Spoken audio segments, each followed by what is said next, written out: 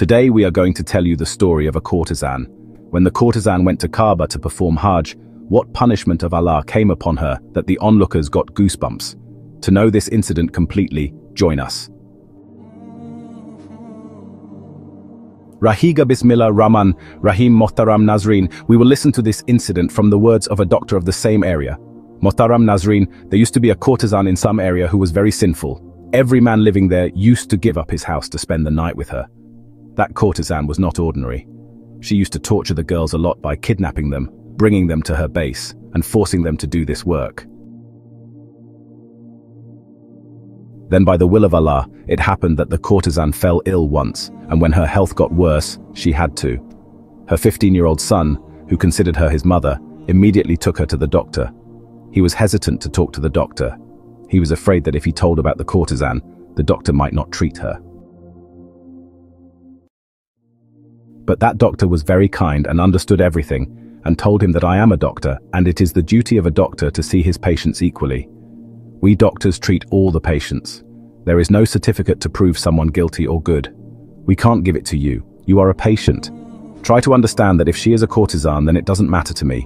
I will try my best to treat her. The doctor said that I could tell all these things about the 15-year-old boy standing in front of me. While he was talking, he started saying, Dr. Saheb, this woman is like my mother. I love her very much. If anything happens to her, I will be helpless in the whole world. I placed my hand on the boy's shoulder and said, You are worry-free. Okay, nothing will happen to the patient and he will be fine. You go home comfortably, and the boy thanked me and went home. This morning itself, a 15-year-old woman was brought to the hospital.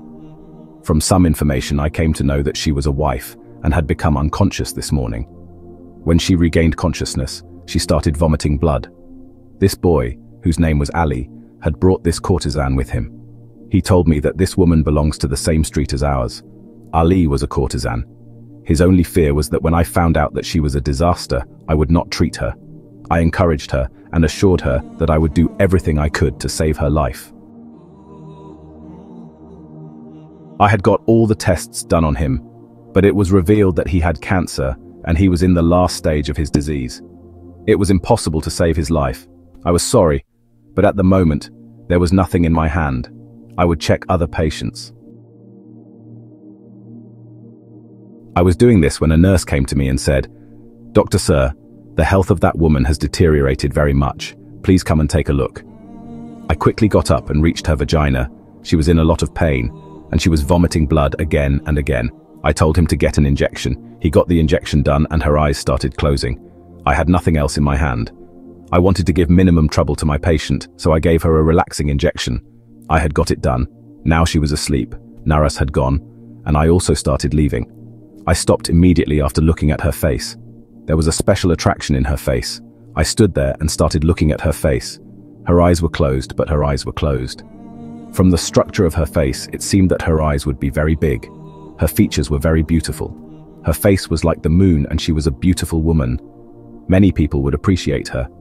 She would be at the peak of her career, but how did she know that this disease was destroying her from within and that she was on the verge of death? It had never happened in my personal life that a face or a person would settle in my mind like this. I would keep thinking about her even after going home, but there was no doubt that her personality was captivating. I kept thinking about her the whole night. When I reached the hospital, the first thing I thought about after seeing her was that I wanted to know whether she would be able to survive for a few days or not. I did not want to disturb her rest. I know that the life of a courtesan is very difficult. I wanted to spend the last moments of my life comfortably when I went to her ward. When I reached there, she was awake. She had a very sweet smile on her face. I said, you are looking fresh today. After listening to me, she laughed and said, I know how to fight difficult situations. I smiled and she also started saying something. Doctor, I am a common woman. Don't think that there is a big difference between a delicate woman brought up at home and a woman who lives in a brothel. Women who are ready from one place and ready for another customer have a lot of courage and courage. I shook my head and she said, You tell me about my illness. I will not lose courage at all. I will not sit down crying. I have some unfinished business left, which I want to do before I die. I do not want to die an unaware death. I want to die after finishing my work. Everything she said was true. Her eyes were testifying. I said, you have cancer, and you are in the last stage of cancer. Hearing me, a smile spread on her lips which means that she was true to her promise. She said, how many days do I have? I said that life and death are in the hands of Allah Ta'ala. Sometimes it happens that the patient leaves death and comes back, and a strong person dies while sitting, and the reports are saying that you have very few days. But at the moment, everything is known to Allah Ta'ala. She smiled and said, Dr. Sahib, thank you very much, you did not hide anything from me. I want to go on Hajj before I die. You told me everything truthfully, so I will go on Hajj and pray for you too. I smiled and came back to my room. I was surprised at her courage. I had also seen people who started crying bitterly after hearing about death. I'd also seen such people who remained silent for many days. They keep fighting with death, and their lives keep getting stuck. But they are so engrossed in the worries of the world that they do not allow their soul to be bothered by their body. In such a situation, they feel a lot of pain. They very quickly accept their death. She was undergoing treatment. After a few days, a man came to meet her. Coincidentally, at the same time I was doing her checkup. Doctor, I have now developed courage and am just ready to go. Now I don't feel like sitting still for too long. I don't even get tired. Now I can even walk for 10 minutes. I feel like I'm getting better. A smile spread innocently on her face. Once I went there, I was surprised to see her face. She had a very sweet smile. I said that you would be treated for a few more days, and then you could go for Hajj. The cat went to Hajj after eating 100 rats. Doctor, this is a courtesan. She has committed big crimes in her life. She is a very bad woman. She thinks that by doing Hajj, she will get her sins forgiven and after death, she will go straight to heaven. You tell her that her whole life. Those who commit crimes do not become public by going on Hajj. The man standing near me started laughing. There was deceit in his smile. I found that man's words very strange. I said, Who are you? Don't answer. I said, I can't understand your work. Can you understand God's work? You and I, who are the ones to divide hell and heaven? Leave the decision of all these to God only. He shrugged his shoulders and said, Okay. The doctor's words hung in the air, challenging the man's perspective and urging a deeper understanding of divine judgment. It's okay. I don't say anything. But remember my point. If the courtesan starts going to heaven, then what will happen to that woman? The woman who worshipped all her life, kept following all the orders of Allah, kept living her life and never complained to God. Doctor, invest as much money as you need. We want it to be fine. She is the owner of our brothel. If anything happens to her, we will suffer a huge loss. Saying this, the man went away from there while the doctor stood there, feeling a complex mix of emotions. He was in love with that woman. He wanted to know the inside story. Although he was a very busy doctor, he used to spend his bad days hopping from one case to another. There was a strange attraction in that courtesan. He wanted to know about her. So despite the checkup, he was standing there. After the man left, she started crying bitterly. I got scared and said, What happened? Why are you crying?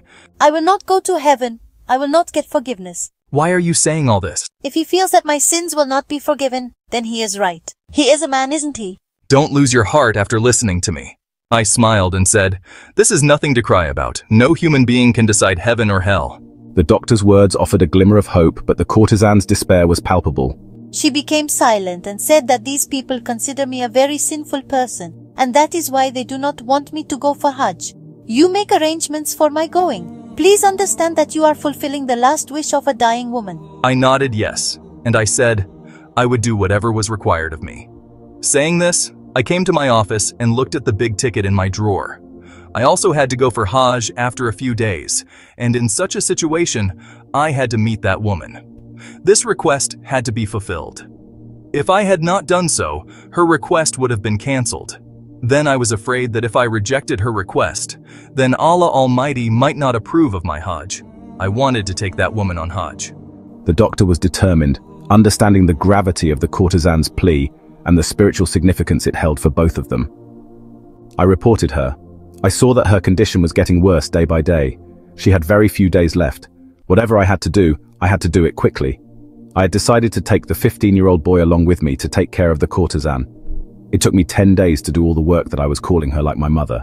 Now they had started getting lighter under her eyes. She had become very weak. I said that your condition is getting worse. I will take you on Hajj. How will I take her, she said. If I don't go for Hajj for 10 years, I will keep wandering like this and will remain lying on the bed. I will never die. It seemed to me that the way she was yearning for death when she went for Hajj, she will also step back. I was very scared of her words. I thought in my heart that what a good woman she is. Those who say no to her must be bad themselves when she is doing everything to reach the level of God in her heart. There was so much agony that I had called the doctor's team to my office. I had told them that this was the wish of this woman. We should fulfill it. Instead of treating her by keeping her in the hospital, it is better to take her on Hajj, and her last wish should be fulfilled. The doctor accepted my decision. I completed the necessary action. When I told this news to the courtesan, she started crying uncontrollably and said, Allah has accepted my presence. Allah has accepted my presence. I looked at her and thought, she is a very mature woman. People who are wrong about this are wrong themselves. After a few days, it was time for us to leave. I took her and the boy and we set off for the journey. We set out on this journey. It was a very religious journey. She and the boy were chanting the praises of God. The name of Allah was on their tongues. The woman thought that I had committed many sins. Perhaps God should forgive me. I nodded yes. So the duty of that courtesan seemed very clear. This is the sign of forgiveness, that a person starts realizing his sins. By the grace of Allah, our journey was completed and we reached Saudi Arabia. When I first laid eyes on the Kaaba, I shuddered. Take me to the hotel. I am not feeling well. She held my hand and said, Take me back. She got scared. The night passed when her condition started getting strange. I was not expecting that at all. I said, What happened to you? I am feeling fine, Dot. She said, Yes, I am feeling fine, but I am scared. Take me away from here, otherwise I will stop breathing. I took care of my patient, left him in the room at the hotel, and came out. My marriage is next month. I had gone there and prayed a lot for my happy life. There was such beauty there that I did not feel like coming back, but it was a compulsion. It was night time. I came back to the hotel. When the morning came, I thought that I would take her to perform ziyarat. Then she came to me and said, take me along with you. I said, yes, come. I will make you perform ziyarat too. As soon as Kana was about to reach Kaaba, she closed her eyes and said to Ali, My hold me by the hand and take me to Khana Kaaba. I wanted to see his attitude. I wanted to look at him. When the biggest wish of a person's life is fulfilled, how does he express his happiness? He held the courtesan's hand and took her to Khana Kaaba, made him stand right in front of him and said, Now open your eyes. As soon as Kana reached near the Kaaba, he said, Open your eyes. She happily opened her eyes and after seeing the Khana Kaaba, the complexion of her face changed and she started screaming back. She was running. She wanted to run away from here. She was running like crazy. She was not worried about her scarf. Her scarf had fallen off. Everyone was paying attention to her. People were looking at her. They were paying attention to her. Now here in front of everyone. It was about to become a drama. So I came forward and held her hand and asked her to walk. But if she had been conscious, she would have listened to me. She shook my hand. She was screaming. Everyone was gathering around her. She had a shocked expression on her face. I went into the room and asked her what had happened to her. She said that my eyes were open in the brothel. My mother was a courtesan. She had committed sins all her life, but when she grew old, she realized that she wanted a child. My mother was thinking that someone should be my own who can help me in my pain and suffering. My mother got pregnant. She did not abort me and just like that, another wife was born in the brothel. When Amma came to know that a daughter had been born in my house, she became very happy and said that the support of my old age had come into this world.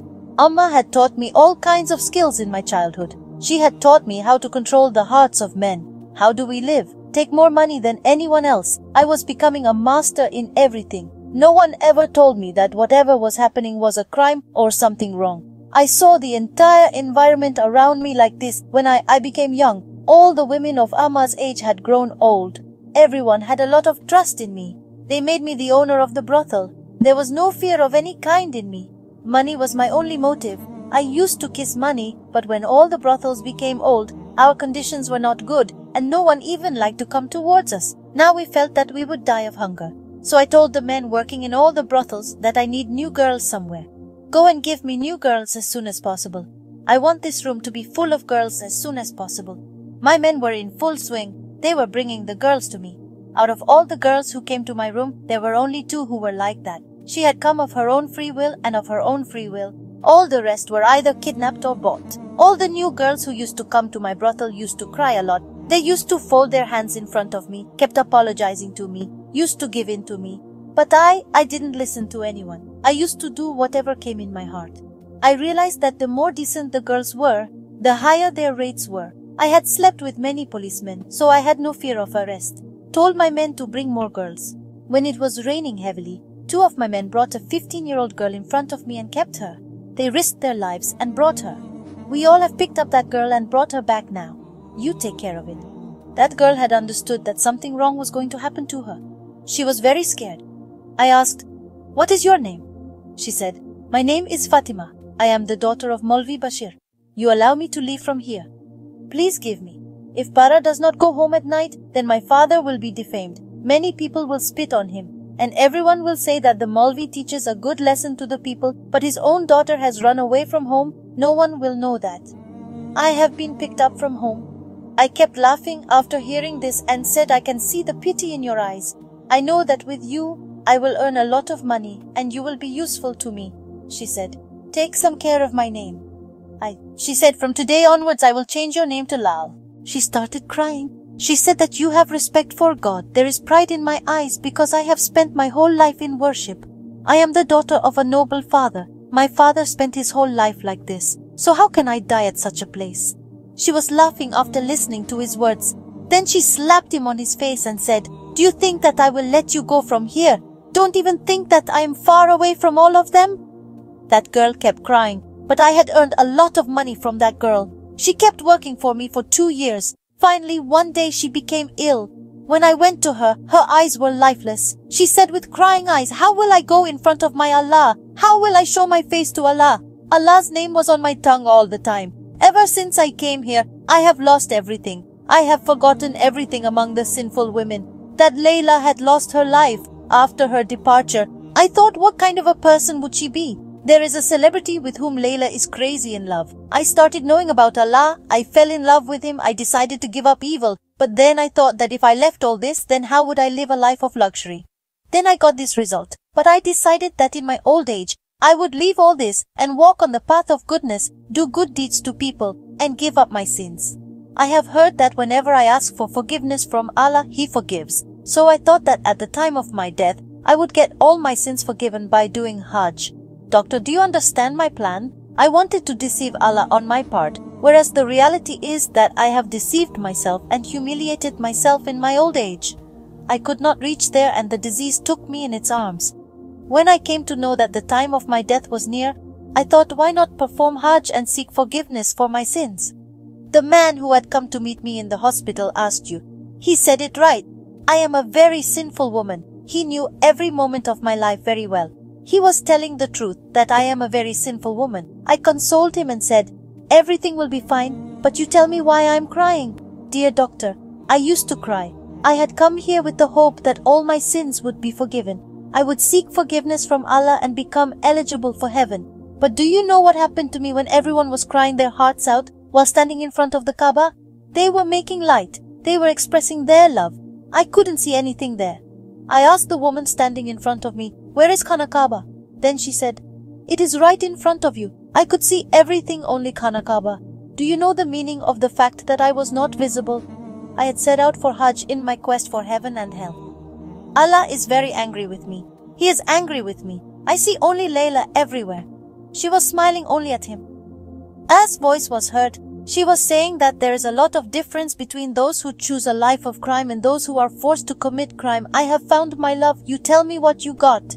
She was crying in agony. She raised her hand in front of the doctor. She kept it and said, Look, doctor, my hands are empty. I did not find anything. Her condition was getting worse. An ambulance was quickly called and she was taken to the hospital. It was found that she was dead. Everyone was worried. The doctor was very scared of her condition. It seemed that he said what would happen to him after his death. He was wondering what would happen to him after his death. He went to the office of the people living there to get permission to perform his funeral, but he was also rejected. He was surprised as to what was happening. He was returned home and he was handed over to them at his brothel.